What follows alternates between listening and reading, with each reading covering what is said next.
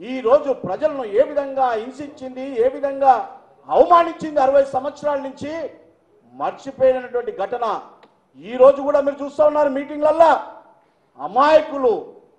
ఈరోజు న్యాయంగా ధర్మంగా ప్రతి ఒక్కరికి చేదోడుగా వాదోడుగా ఉన్నటువంటి తెలంగాణ ప్రజలు వారి తిన్న ఇతరులకు పెట్టేటువంటి మనసత్వం కలిగినటువంటి తెలంగాణ ప్రజలను మీరు ఈరోజు మీటింగ్లలో చూస్తే అర్థమవుతుంది.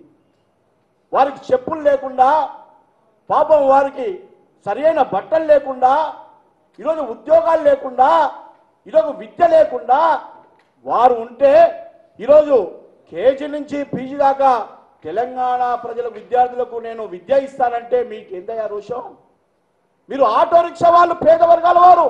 రోజు ఆటో నడిపించుకొని ఇరవై గంటలు నడిపిస్తే కూడా వాళ్ళకు రెండు మూడు వందలు రానిటువంటి పరిస్థితుల్లో వాళ్ళు రోడ్ ట్యాక్స్ తీసేస్తా అంటే బాధ ఎందుకు అని అడుగుతా ఉన్నాను. పేద వర్గాల వారు నివసించడానికి ఇల్లు లేదంటే వారు నలుగురు పిల్లలు ఉంటే ఒకటే రూమ్లో ఏ విధంగా ఉంటారు? నేను రెండు రూములు ఒక కిచెన్ ఒక బాత్రూమ్ కట్టిస్తా అంటే ఎందుకు ఓరలేకపోతున్నారంటాను ఈరోజు వృద్ధులకు మీరు రెండు రూ- రెండు వందల రూపాయలు ఇస్తే ఆ రెండు వందల రూపాయలు సరిపోవని చెప్పేసి